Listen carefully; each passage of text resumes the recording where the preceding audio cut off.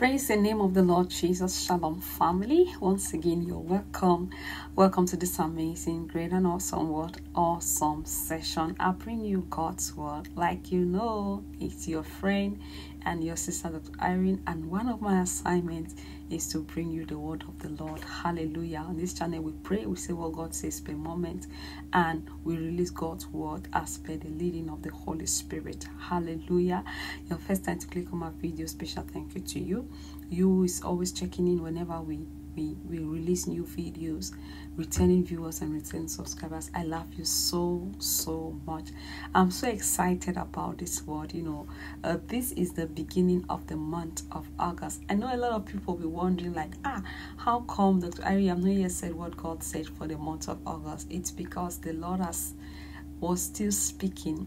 And until when i was confident about what god is what God is planning to do in your life this month, I could not release this particular video.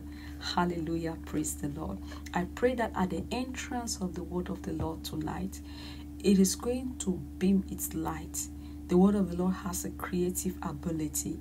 As God will speak it today, it's going to manifest in your life in the name of Jesus. God's God's word for us in the month of August comes from the book of Isaiah, chapter 43, verse number 19. It says, See, I am doing a new thing.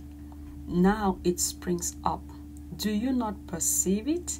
I am making a way in the wilderness and springs in the wasteland. God is about to do a new thing. And He says, I should ask you, can't you perceive it? The month of August is the month of new beginnings. It is the month of new beginnings. The Lord was so clear about it. Say, can't you perceive it?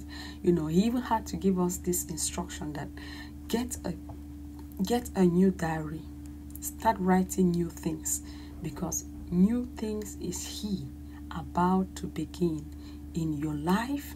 New things is He about to begin in that job New things is he about to begin in your career, in your business, and in your ministry. It is the start of new beginnings for you, the start of new things for you. He says he will spring forth rivers in the wilderness, he will spring forth streams in the wasteland. What seemed to have been wasted, dry, completely forgotten this is where you'll begin to harvest this month of August in the mighty name of Jesus. May the Lord bless you and may He cause this word to manifest in your life. Amen.